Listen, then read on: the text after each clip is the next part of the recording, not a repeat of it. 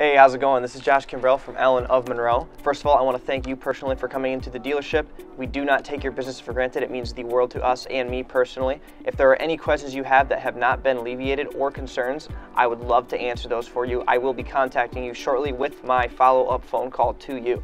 Um, another thing I want to let you know about is our $100 referral bonus program. So if you know somebody who's in the market for a vehicle and they come to me and either purchase or lease, being referred to me by you, we do send you $100 for that. So that's something to keep in mind. Other than that, again, I look forward to hearing from you soon. We will be in touch.